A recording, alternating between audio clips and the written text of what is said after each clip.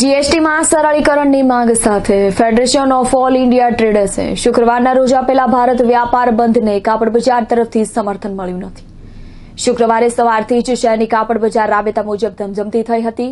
જીએસટીમાં સૌથી વધુ મુશ્કેલી કાપડ બજારના વેપારીઓને છે અને તેમ છતાં બંધમાં સામેલ થવાથી વેપારીઓ દૂર રહ્યા હતા. આ ઉપરાંત રાજમાર્ગ પર મોટાભાગની દુકાનો બંધ પણ જોવા મળી રહી હતી. જીએસટીના વિરોધમાં સુરત જિલ્લા ટેક્સટાઇલ માર્કેટિંગ ટ્રાન્સપોર્ટ લેબર યુનિયને ટેકો જાહેર કર્યો છે, જો કે આ બંધના એલાનમાં ફોર્સ્ટા જોડાઈ નહોતી. ભારત વ્યાપાર બંધને સુરતના સંખ્યાબંધ વેપાર ઉદ્યોગ જગતના એસોસિએશનો અને ઇન્ડસ્ટ્રીઝે ટેકો આપીને બંધમાં સામેલ થવાની જાહેરાત કરી હતી. બંધમાં સામેલ થવાના મુદ્દે કાપડ બજારના સંગઠને જો કે ચૂપકીદી પહેલેથી જ સાધી દીધી હતી. કાપડા વેપારીઓ તરફથી પણ બંધમાં સામેલ થવાના મુદ્દે અનુમોદન આપવામાં આવ્યું નહોતું. કાપડ બજારના સૂત્રોએ જણાવ્યું છે કે શુક્રવારે સવારથી જ કાપડ બજાર રાબેતા મુજબ ખુલ્યું હતું અને માર્કેટમાં ડિલિવરીના ટેમ્પોની અવરજવર પણ જોવાય છે.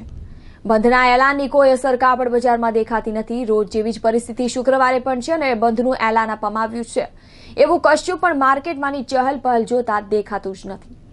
પરંતુ સુરત શહેરના બાકીના વિસ્તારોમાં વેપારીઓ બંધમાં જોડાયા હતા અને ખાસ કરીને કોટ વિસ્તાર અને ભાગલ તથા રાજમાર્ગની દુકાનો બંધ જોવા મળી હતી. આ ઉપરાંત સુરત જિલ્લા ટેક્સટાઇલ માર્કેટિંગ ટ્રાન્સપોર્ટ લેબર યુનિયને સમર્થન જાહેર કર્યું હતું. પરિણામે ટ્રાન્સપોર્ટ કંપનીના તમામ વ્હીકલોના પેડા થંભી ગયા હતા, જેના કારણે ટેક્સટાઇલ માર્કેટના વેપારીઓને મુશ્કેલીઓનો સામનો કરવો પડ્યો હતો, જોકે સુરતમાં બંધના એલાનને આંશિક સમર્થન મળ્યું હતું.